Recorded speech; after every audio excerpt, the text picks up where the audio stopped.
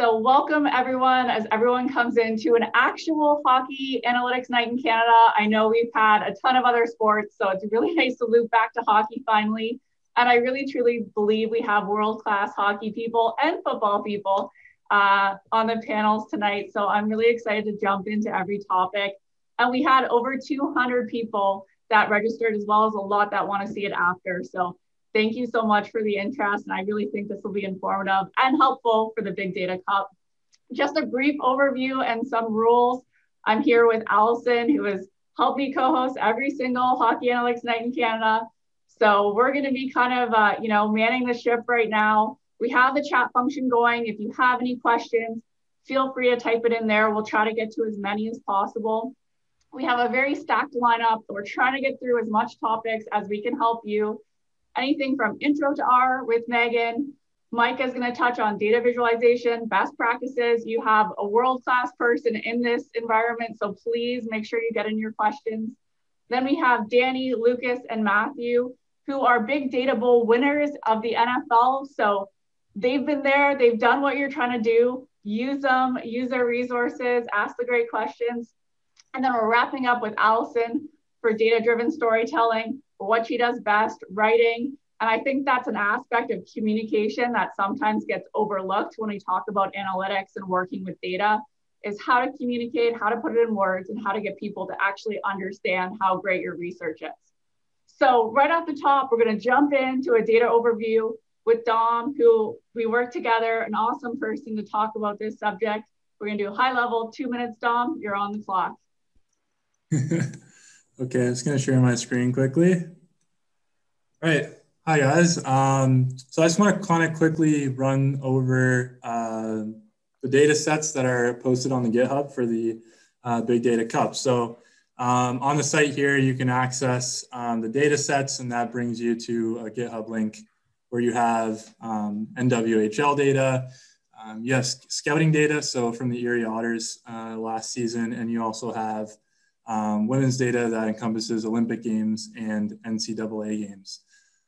So um, you have all the data here. Uh, if you scroll down, there's um, some rules and guidelines. Um, and underneath that, it actually goes into detail on the data set.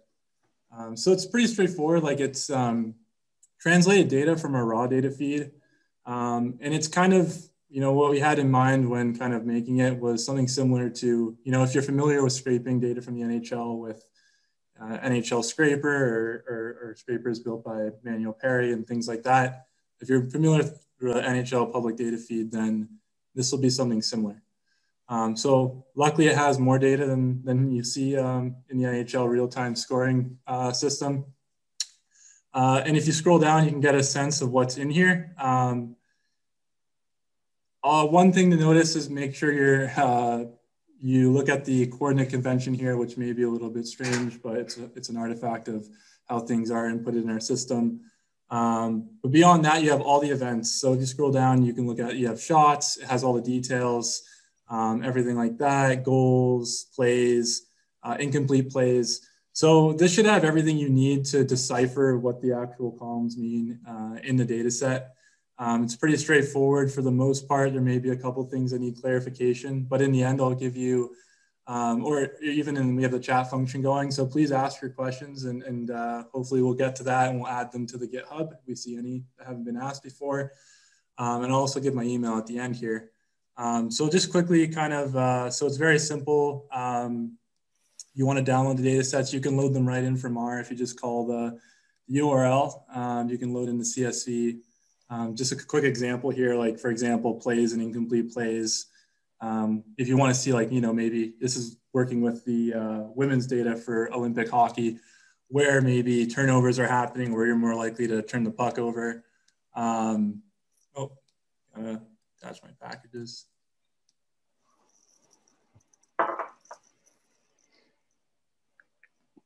Yeah, so just like that, uh, it will load right into R. And again, the columns are defined just like they are in GitHub. Um, so it's ready to go. Um, you know, if you can fill a little spatial model quickly to see in the offensive we can't zone. See your R screen. Oh, really? Our okay. No. Oh, okay. Um, I thought I clicked screen. Okay, here we go.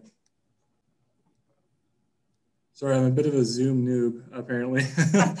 uh, so yeah, if you want to maybe look at spatial data um, here, uh, for example, this is looking at the offensive zone, what your expected pass completion is in that Olympic women's data set. Um, that yellow region essentially saying that pucks to the front of the net are more likely to be turned over. So um, I'm sure that's that's nothing new to anybody. Um, and I have a gimmicky 3D plot here uh, a lot of it's, I mean, because you have the coordinate data, like a lot of the analysis is probably going to be spatial, I'm, I'm guessing. Um, you know, that's just a suggestion, I guess. But here's the same plot in 3D uh, for no apparent reason. But yeah, so it's easy to work with out of the box in R. You can pull it right in from GitHub. Again, if you have any questions, they're probably answered on GitHub right underneath the data files.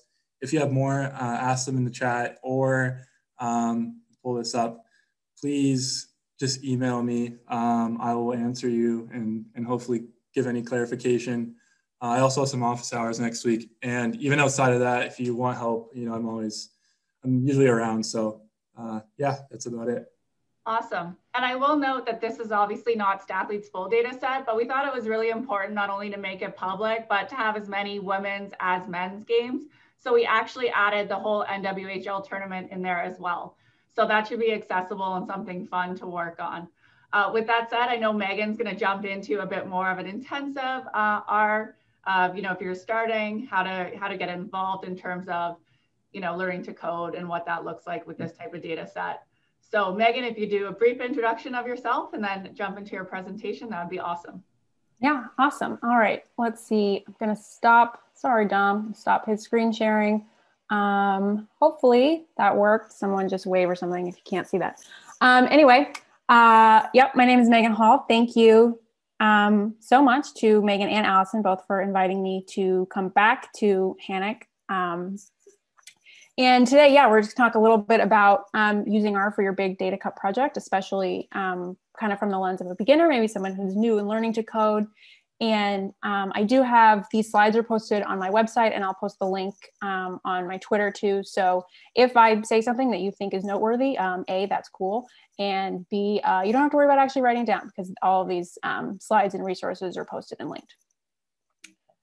Let's see. Uh, so let's address the um, elephant in the room first. I cannot teach you R in 10 minutes. That is how long I was given for this presentation. And I have my timer because nobody wants to be that jerk who goes first and takes like 25 minutes. So I cannot teach you R in 10 minutes, but um, I think it's helpful from a beginner point of view to really just kind of have an idea of what you can do in R and what are some of the things that R makes really easy. And we'll just kind of, and I'll also talk about kind of a roadmap if you, this kind of piques your interest and you want to learn more, like some resources for doing that, like hockey specific or not. Um, but just a quick disclaimer, like please don't let anyone ever make you feel bad for what like software or language you do or do not use, including me. Um, everything I talk about today in R, you can also do in many other languages. Um, there is certainly no like requirement for the big data cup that you have to use R or Python or something fancy. Um, so yeah, we're just gonna, but like these are my 10 minutes, so I'm gonna talk about R because um, I in particular think R is um, got a nice like entry point for beginners. All right, so kind of this step zero of this is like, what is R and like, how do you actually use it? Um, R itself is just an open source programming language. You can download, um, here the link at number one, just you can download the language itself and then your IDE or what is like the application on your computer that you open and lets you, you know, write and run R code is called R Studio. Those are both available to download for free. And again, those links are in here. Um, the data. All right, so how would you, if you're working with big data cup data, how would you get that data into R? Um, again, we're doing kind of a real top level um, look into R here, but in general, most of the work you do in R is done through packages. And packages are just groups of functions that other people have written for you to use. And this kind of line I've highlighted here, which is just calling the tidyverse package, is basically the first line of code in any R script that I ever write. Um, tidyverse is a really popular and common set of R packages um, that are really good for working with data. And you can see here, I've called these tiny URLs do work actually just to call in um, these big data cup data sets from GitHub. And I'm just using an R function and I'm reading in this data straight from GitHub. Um, and you can see this little symbol here on the right is called the pipe. I'll talk a little bit more about that when we kind of do a bigger code chunk. But the pipe is what kind of allows you to run multiple R statements together. And it's kind of a trademark of the tidyverse and one of the things that makes it so useful. And we're going to skip, we're going to skip a few things because I'm a little worried about time. So um, step two is really just exploring your data. If you get into R Studio, it's really easy to just look at your data like from a kind of from like an Excel perspective. If you just want to see all the rows and columns laid out, that's easy to do. There's plenty of little functions for just seeing all your variable names and such. But one of the things that I look at um, first when I am um, looking at new data, like this data we're going to look at here, specifically the scouting data set, is just using like really simple functions like count, which basically just create like what you would see as a pivot table in Excel um, for looking at events. So we can do that here and call event and see all of the distinct events that we have in this data set. And you could call multiple arguments to that function. And so we can see that there are levels of detail within all of these events. And so something like that is just easy. So to go through a quick question is just from the scouting data, like among the players who have taken a substantial amount of face-offs, like who has the best face-off percentage? Um, I would not recommend you use this question as your big data cup question because um, not very advanced, but I only have like six minutes left. So I, oh, I can only do so much, you know, groundbreaking hockey analysis work in six minutes. Um, so if you take a look at the scouting data and you just look at the face-offs, this is how it looks. It appears that we have one row per event, so one row per face-off, per face-off, and you can see from the very useful data documentation that Dom went through, which I highly recommend you look through closely if you're looking at this data, is that the player variable is the player who won the face-off, and then our player two is the player who lost. But you can see here, this is a good example of like this first highlighted row here, like Quinton Byfield won that face-off, and then in the second highlighted one, he lost that other face-off. Um, so if we want to eventually get our data where we can look at it at the face-off percentage per player, we're going to probably need this data in a slightly easier format because in the format that we're looking at right now, at one row per face-off, you have two pieces of data in that row. You have the winner and the loser, and we really kind of need to get those into separate rows so we can more easily analyze it. And we'll go over that on the next slide, but in general, R is very useful for kind of rearranging data and looking at it at different points of views, which makes it easier for your analysis. And because if we, again, this is where we started off with the raw data, and this is kind of what we want to end up with, which is just list players who have taken a lot of face-offs and what their face-off percentages are. So how do we go from that slide to this slide? It looks like this. This is just a chunk of code. It does not bite. Um, but this is an example of code you would run in R, and you would run all of this code as one chunk. And these are all come from, um, all these functions that we'll go through really quickly are from the tidyverse. So we're starting here with an assignment. We're basically telling R that we're starting with this scouting data and we want to make a copy of it and we want to call that face-offs. And you can see that line along with like every other line in this code ends with the pipe, which again is just telling R to um, perform that line of code and then move on to the next one. Just telling that we want to run multiple chunks of code. And sometimes your code chunks will be really short and sometimes they can be really long, but the pipe is what is really nice and allows you to do all of them together. So if you look at these first two here, um, really easy. Like again, functions, if, if you don't come from a programming background, even just hearing functions, you're like, I don't really know what a function is. Here, like a function is just a verb. Like in the tidyverse, they're just verbs that you're using and you just need to match up with what verb you need to perform whatever actions you wanna have on that data. So like here, for example, we're just asking R to filter just down to face-off wins and then select is the verb you use to select certain columns. So we're only interested in the player columns. So these two functions together are basically just as if you opened Excel and deleted a bunch of rows and then deleted a bunch of columns just to keep what you want. And same with rename, does exactly what it says on the tin. So those first three functions are like really easy and stuff that you can, um, easy to conceptualize, like really easy to do in Excel or numbers or some program like that. But when we get into this next function, we talk about pivoting, which I think is really where you kind of get into, kind of get your money's worth um, from R, where pivoting data really allows you to um, take data in one form and basically look at it from a different point of view. Like we had mentioned before with this face-off data, we have one row, one row per face-off. We've got multiple pieces of data in that, and we want to kind of pivot that so we have one row per player instead. And that's what this function will do. Um, like just running this code up to this point will give you this, which just, again, we've just pivoted the data. So now we have each player is in its own row instead of like one row per face off. And that's a super simple example of pivoting, but you can get um, really complex into pivoting longer and pivoting wider. Um, again, of like I'm in R for like multiple hours a day and I really use pivoting a lot. I think that's kind of where, again, you start to see what how R makes things easy. And again, going through just a few more functions. Um, mutate is what you use to create new variables. So we're just going to create a simple binary variable. And also the combination of group and summarize, also really popular within the tidyverse, um, just allows you to aggregate data. So we want to group our data by player and basically just sum up the amount of face-offs they took and they won. And that allows us to, of course, calculate our face-off percentage. And then we want to filter. And then our last verb is just arranging, just means sorting. And so this chunk, this chunk of code, which again, you would just all run as one chunk, gives you this table that we saw before.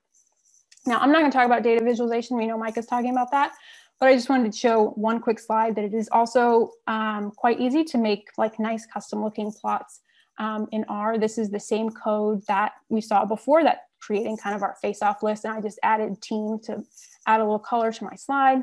But that kind of stuff, also very easy. This is the chunk of code that creates that graph. Um, the package that used to create graphs is called ggplot, which also lives within the tidyverse. These are the lines of code that you run just to create the basic, like just a horizontal bar chart. And then all of this is just extra customization that you can do. And again, once you kind of get the hang of just learning different functions and the arguments to those functions, you can chain all these things together real easily.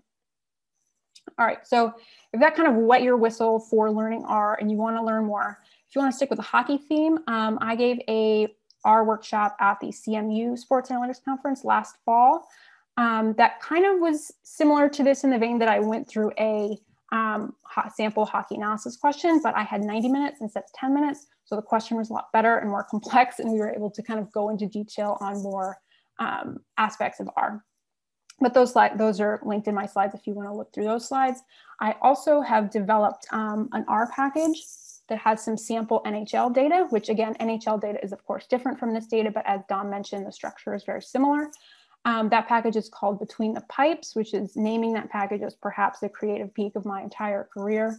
Um, I have instructions here for how to access it, but it basically, there are also some interactive tutorials, which have pretty neat little um, code boxes. And I have, you can go through different exercises and there are hints and you can view solutions. So that's a nice way to learn as well. And if you wanna not learn in the focus of hockey, I've also included some links to a few of my other um, favorite resources for learning R. All right, there we go. Ah, it's under 11 awesome. minutes. That was hard. There you go. Great timing. And as always, Megan, so clear, but so helpful. And everyone on the call for sure, check out some of Megan's other resources. They, they've been great. And I know I've got a lot of feedback from the last HANIC you did, uh, how good they are to learn. So really appreciate it. As always, any questions, just put them in the Q&A and I'm sure Megan will get to them. So next up we have, now that you've done some R, you've done some modeling, you need to figure out how to make visualizations. What does this mean? I feel like this is something that can go very well or very poorly. So let's get into the brain of one of not only the best in hockey, but the best in data visualizations business. He reached over a thousand subscribers this week. We can find him on hockeyviz.com. You can subscribe.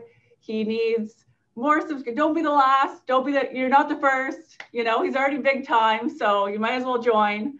Uh, Micah, I'll, I'll, hand it over to you to go over how you approach this. Thank you very much, Megan. Um, just as Megan said, I, I, run a small website called hockeyviz.com, um, and it's a the recently has become my my primary source of income. Uh, I do a little bit of um, of math teaching here and there, uh, and so you can find me uh, in addition to the website, which can be a little bit like a look up what you need, you can find me um, doing weird and wonderful things uh, on Twitter at ineffective math, all one word. It's a joke about how I used to be a mathematician, but I couldn't get a job. And so, uh, so I've turned to hockey, which is much more rewarding. The, and in particular, um, so I, I kind of came to data viz from, from a slightly weird background, um, in particular from, from science and from mathematics, not from data science and not from statistics. And in particular, um, not from sports. The you know, I, I, came to sports sort of late in life compared to other things, um, and which has some interesting relevances for for trying to come up with with um, how you want to put data viz together. Uh, and so I, I've this is just my face. I'm afraid I don't have any examples for you, and which is a deliberate choice because examples, as you will discover when you start creating your own, especially if you haven't before, examples are confusing and people will seize upon little details in visualizations. One of the most amazing things about visualizations, which can also be a problem, is that they engage people very quickly. And if you, if you write a table, a lookup table that people can look at numbers in, you will force people to work hard. And if you make a data viz that puts the same numbers in a table, you will in almost force them not to work hard. And what you want is should inform your choice of what you want people to do. So if you want people to look at the precise values, you should not use a data viz. You should use a table. And if you want people to grasp a full picture quickly without looking at specific details, then you want a data viz. And so it's very easy to say, oh, I love data viz. I'm going to have lots in my submission, and maybe you will. In fact, I'm sure, I'm sure every submission will have some, but not every submission will be laden with it. And just like, and so there'll be very legitimate choices about some people will have lots and some people just a little the some people will have lots of explanatory text, other people's only a little bit. Some people have lots of tables. Those are those are, are not purely stylistic choices. You want to make those choices based on what it is you're trying to get across. So part of, and so data viz is one of the things that I spend a great deal of time on. Uh, and the reason I do so is because I think visually. Uh, one of the one of the like hallmarks of that is that when I'm looking at data, I've frequently discovered that I don't understand it. I don't actually know what it says, what it is even, until I've made a viz of it that I'm satisfied with. And, and so the first, the first audience for any piece of viz you make is always yourself.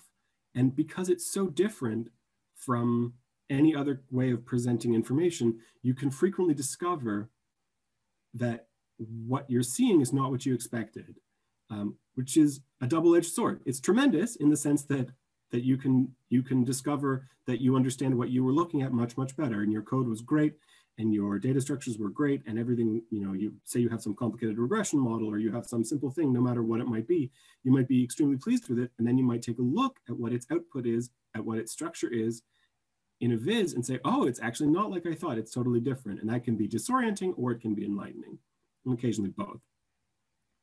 And so, so one of the things is to be ready for that kind of surprise. The most general advice that I find, the most important thing that I start with whenever I'm looking at some kind of new thing, some, you know, something that I don't already have a template for. We'll come back to like templates and, and that sort of thing later on.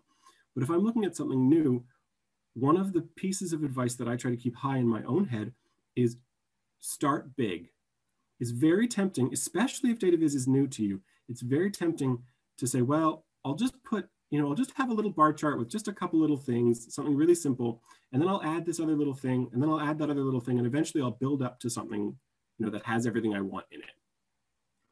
Uh, and there's an obvious logic to this, and unfortunately, it doesn't work. And the reason it doesn't work is that space the space that you've got, which is always limited. If you want to make some sort of viz that works, you know, it's not like paragraphs of writing where you can just tack on another one afterwards. And if your reader has the time to indulge you, they'll read another paragraph. You know, fundamentally, viz is like photography. It's about fitting things into finite spaces. And people's monitors are only so big, people's phones are only so big. So, so the art, if you like, is really paring things down. And once you realize that, that might sound contradictory to my advice about trying to put it all in the kitchen sink and into what you're looking at all at once. The trouble is, if you try to put things in incrementally, you'll discover that by the time you're on your second increment out of six, you're already out of space. On the other hand, if you take everything that you know in your head you want to portray, so if you're trying to make a distribution uh, over the rink, you know, over of all of these certain things of a particular set of shots, of a particular set of passes, of a particular set of any particular thing. If you make sure you get them all into the frame one way or another in your first draft, no matter how hideous it looks, you will at least have it all there. And then you can work from a place of chaos into a place of something that's clean, rather than trying to work from a place of something small that's presented well, and then trying to cram additional information into the tiny spaces in between what you've already put down and what's left. And if you take that approach, then whatever you put in second will look minor compared to whatever you put in first. And maybe that's what you want, but maybe it's not. And so one of the few ways of making sure that the importance of things can be weighted the way you want is make sure that you get everything in there first. And then you can look at that and say, oh, rats, see, now this is important and it's being obscured by that other thing. And now you can make a serious choice about do I want the first thing or do I want the second thing? Or how can I, you know, why are they taking up the same part of the screen? I need them to not do that. The, you know, but but if you did it right in the first place, they both have a right to be in the same part of the screen. And now now you see something you don't like in the viz. You see, oh, it's messy, it's muddy. And you can start to go down a path of, of inquiry with what you're doing that makes sense. And you know that that's where the rubber hits the road because you're looking at the things looking ugly on your own screen. And so then you can say, okay, that thing, I really need that thing, and I really also need that thing, and they both need the same screen real estate. That means I need to redesign this viz. And, and you already have the seeds of the solution to this problem staring you in the face. Why did I use the same, why did they both come out in the same spot?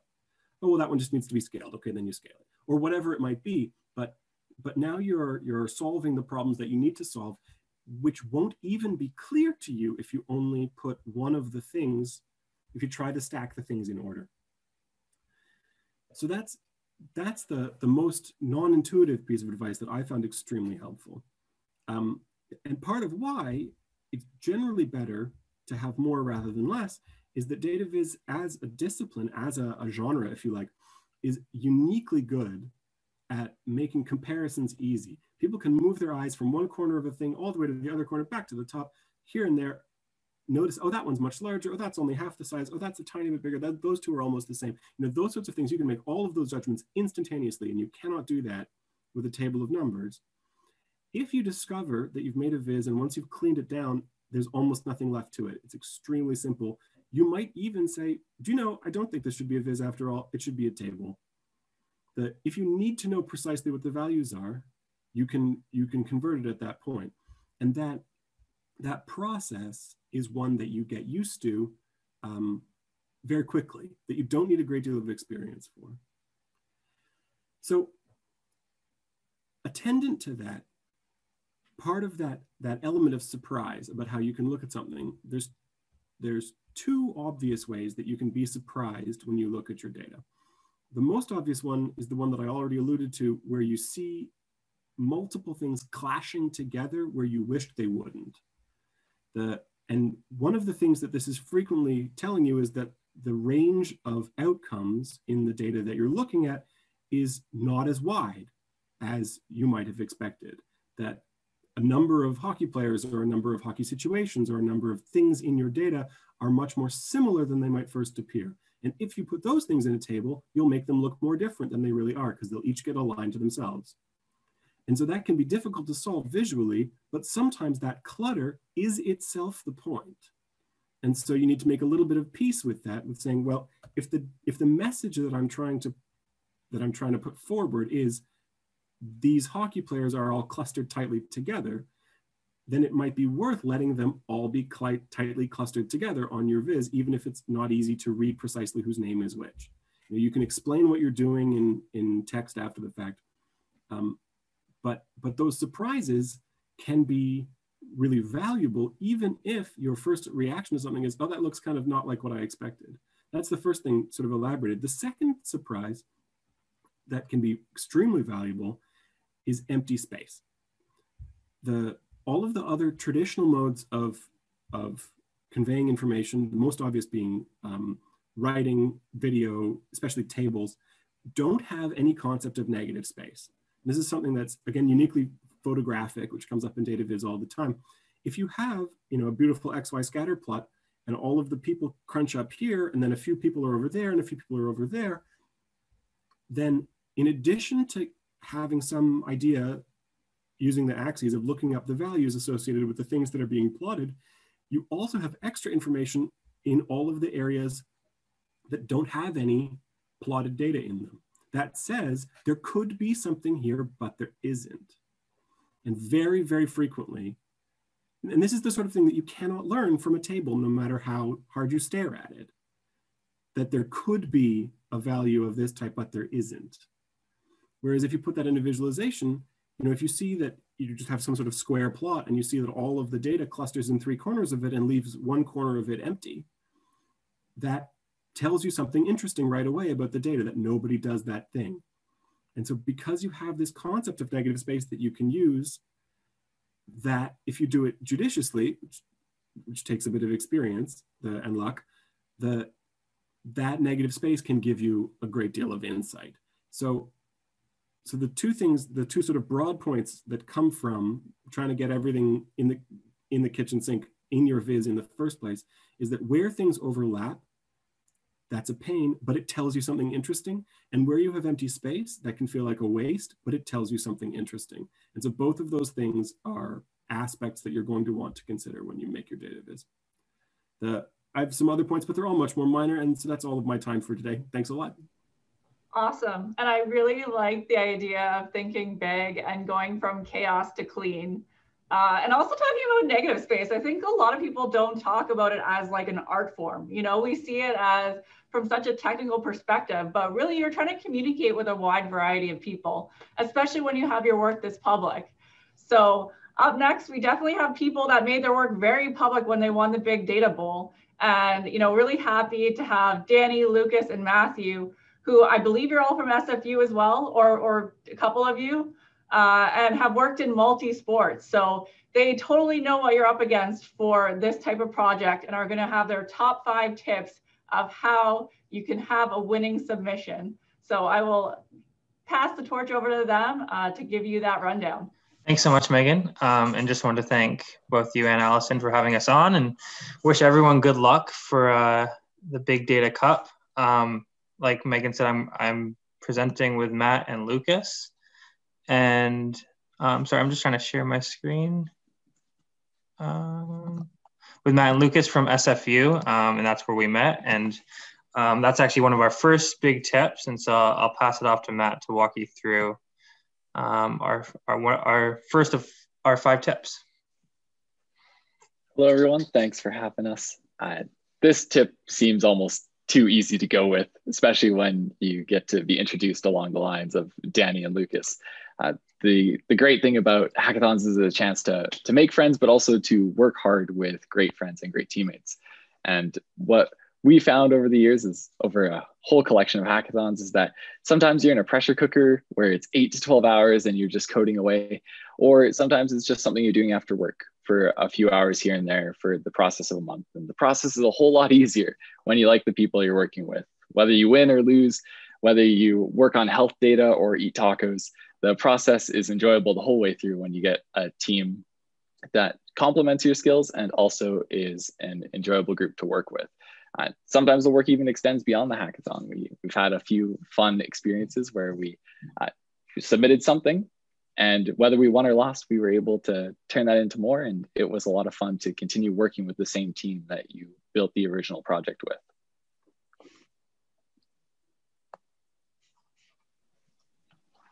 Um, yeah, thanks, Matthew. So yeah, the second point we would like to highlight here is, you know, always think about the story you would like to tell. So your work should be motivated by your story and the problem you're trying to solve. We know many of you have a strong technical background. While you're trying to build your models, always think about, you know, how your model can fit into your story and don't get lost into the modeling process. We, we actually learned this from one of our um, past hackathon experience where, you know, the team with talk top accuracy didn't make it to the final as they didn't spend enough time building a coherent story on their final results. Um, next slide, please. Yeah, um, and the third point we have here is uh, looking for inspiration around you. If you have a brilliant idea, that's awesome, congrats. If you don't, which happens to us a lot, we will often get inspirations from articles, you know, projects, research that people have done before, either in a different context or in a different sport. Sometimes we actually find some really interesting and useful results in the reference section of the paper. And you know, we strongly believe that there are values in uh, reproducing someone's work. While you're trying to re replicate someone's work, you may actually get a better idea on you know how to translate and apply that into your current project. And finally, don't be afraid to reach out and get feedback from your friends and your mentors. Um, and I will pass it back to Matthew for the next point.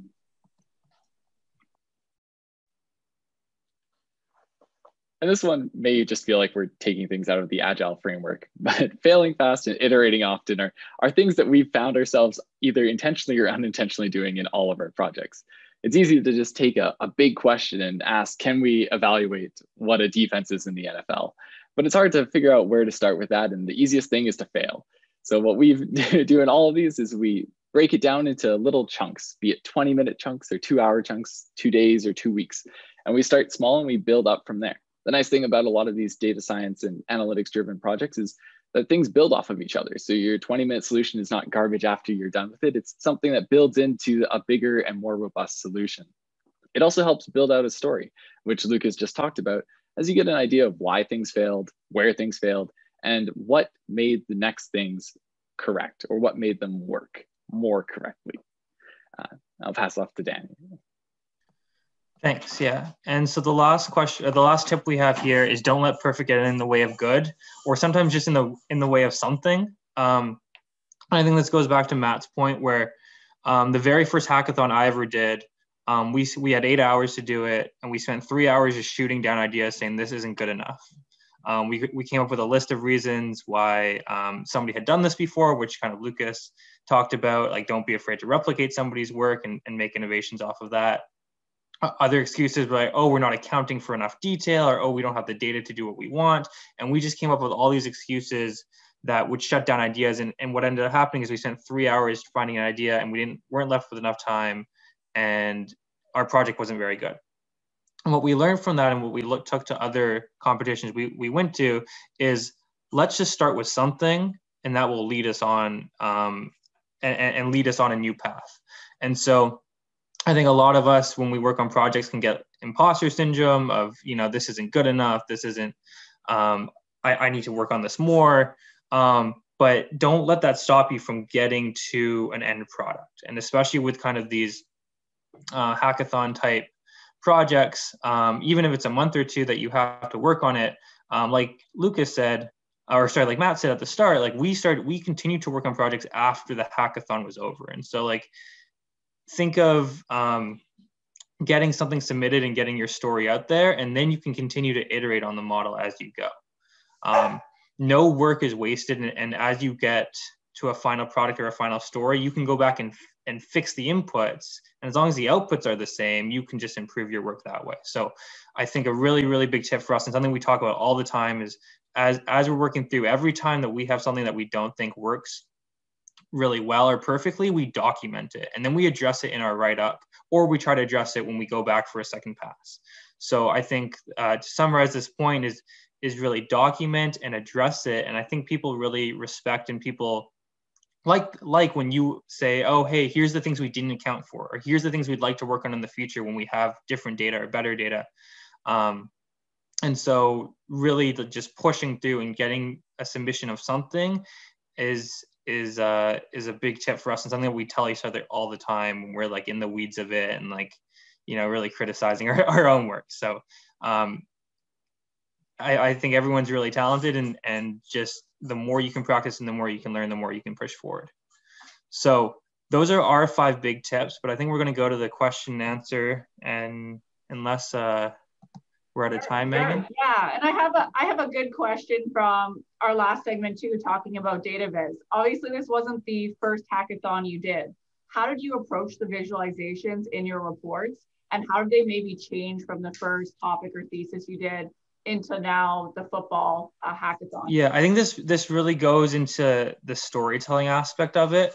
Um, you want to be able to summarize like all these models into what does it do for for us, and so um, I think our first NFL Big Data Bowl, when we were doing route clustering, um, it was a very kind of uh, visual project. And so, you know, really trying to make it simple, clean, but also communicate all the information that you want to communicate. So, you know, remove as many labels and, and like Mike was talking about with, with white space, like use negative space to your advantage, make it simple and clean, but also get as much information, the, the important information to your story in there. Um, and I think that's something that we we think about all the time when it comes to visualization is just cutting, cutting, cutting, cutting, and then um, trying to just get the main message across in that is. And we had another um, question about, you know, modeling more of the technical aspect of it. I believe you all have stats backgrounds as well, correct? Yeah. I mean, it's a great program at SFU, so you're lucky to have amazing professors out there. You know, what did what did they uh, teach you, and, and what did you kind of go by to, you know, do a project so quickly that it was a, you know, such a technical nature? Yeah. Um, I'll, I'll I think for for I'll take this one, and, and Lucas is like you know, I think we all have technical backgrounds, but Lucas is like the king of the technical stuff. And I think the, the thing is like we know our strengths and weaknesses, and that's part of what working with great with a great team is that um, you can kind of find your niche. And so even though we can all do the technical stuff and all understand the technical stuff, like we often defer to Lucas for technical things, and then we'll take the viz or we'll figure out what the outputs of the model will be and how we want to viz that and start prototyping the viz even before the model is complete right? You don't don't let yourself get hung up on different steps, um, hung up on the modeling step before you start like trying to figure stuff out because you have a limited amount of time. So um, I think uh, I think Lucas is like know your strengths and weaknesses and and find yourself a Lucas and to learn from and to teach you. We just all um, Lucas. yeah, but but I, I think the the I, we've we've learned as we've worked with each other, and I think we all push each other, and I think that's what we we talk about with with the team is find good mentors and find good teammates that you can learn from. Okay, great. And I had one last question too that came in on Twitter. Uh, and I think this is a good one because I feel like a lot of people in this like shorter time frame now they have about two weeks to, to finalize this submission how do you decide on the topic? And I know Micah talked about when you're doing data viz, go big, but how big do you really want to go for something that you know you are writing a short paper on? Yeah, Lucas, do you want to take this one? Um, um, yeah. So I, um, yeah, I guess you know, like you know, um, I think that kind of comes down to you know, uh, you know, try to get as much inspiration as you can, you know, try to either talk to your friends, you know, get some inspiration and, you know, find inspiration from, you know, past research. I think those are really like helpful. Um, you know, for our first hackathon, um, you know, we're, you know, we're basically just trying to solve something, like start something small and, you know, try to figure out, you know, what will be the problem and then just do a like tiny little bit step and then, and then, and then building on top of that, you know, uh, over time. So I think it, we believe that's really helpful and, you know, as important to, you know, um, for, you know, for doing hack, any hackathon.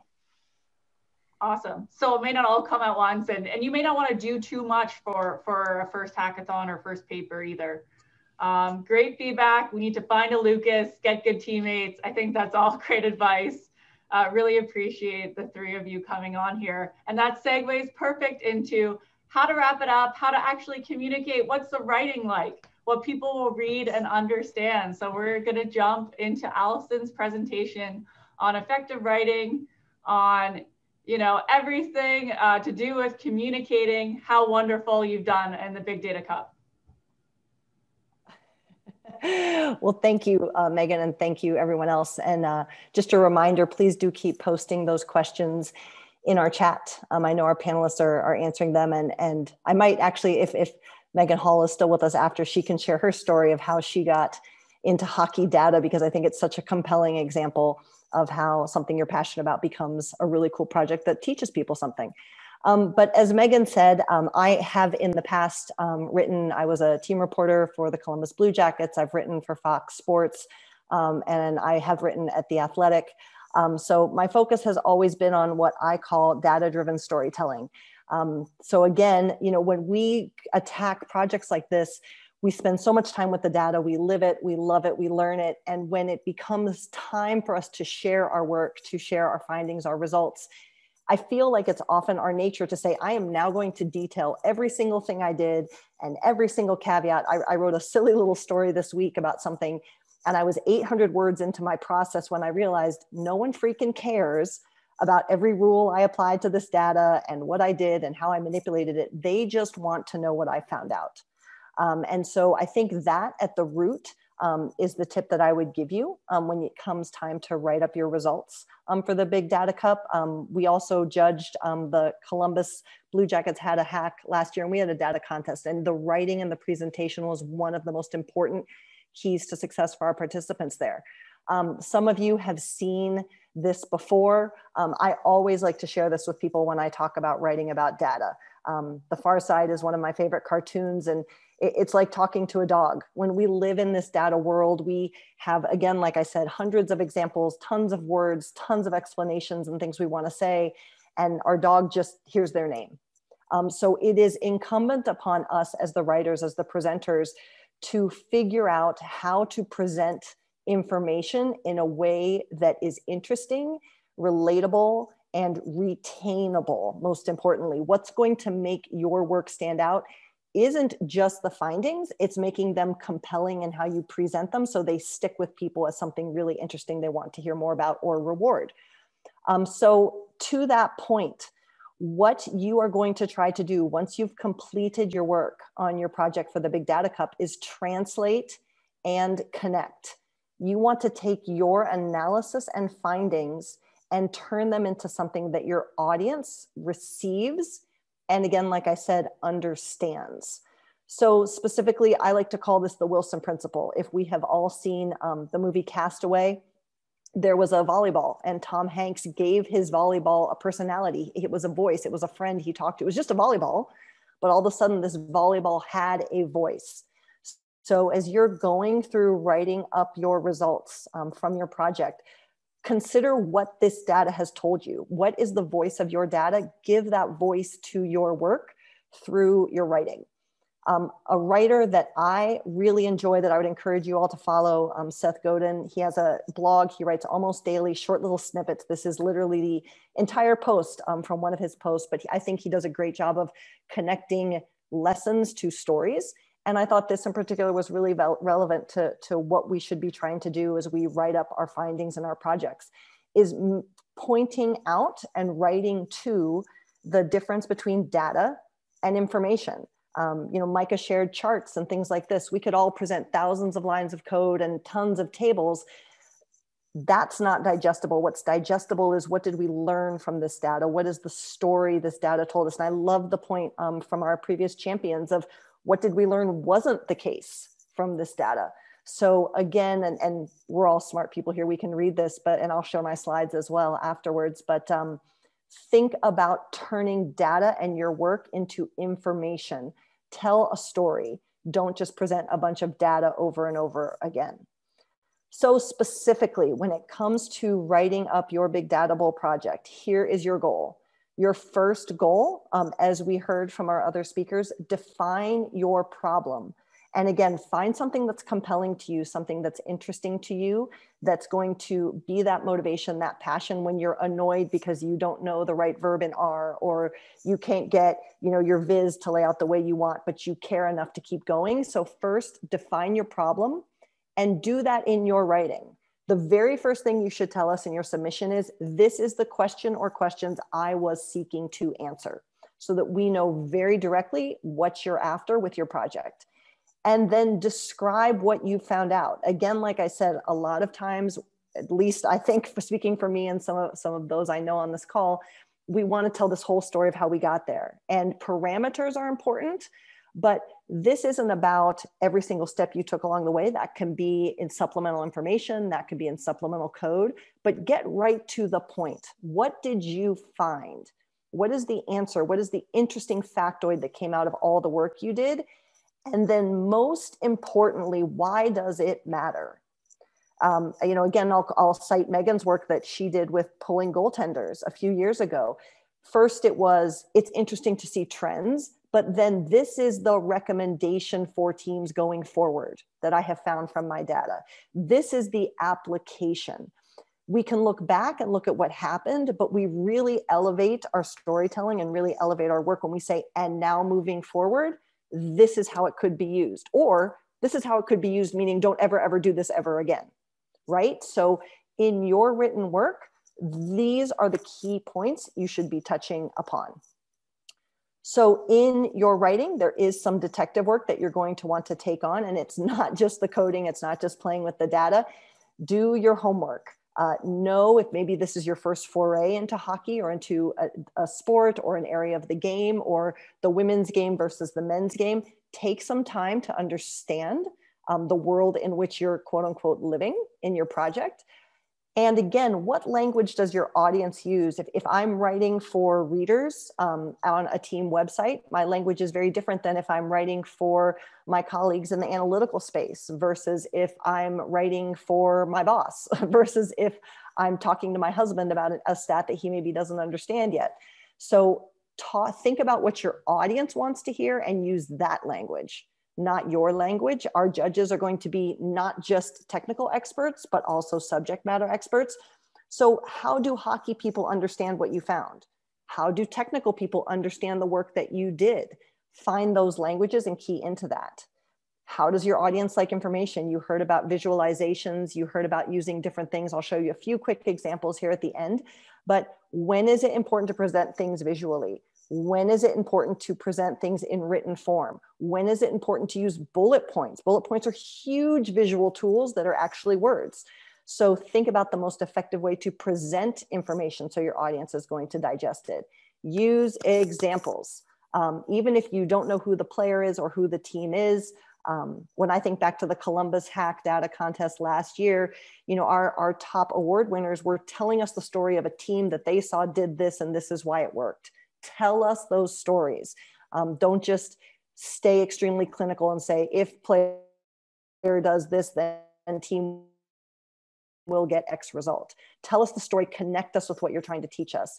What did you find out? We talked about this. What is the result, um, both good and bad? I loved that point. And what's most important?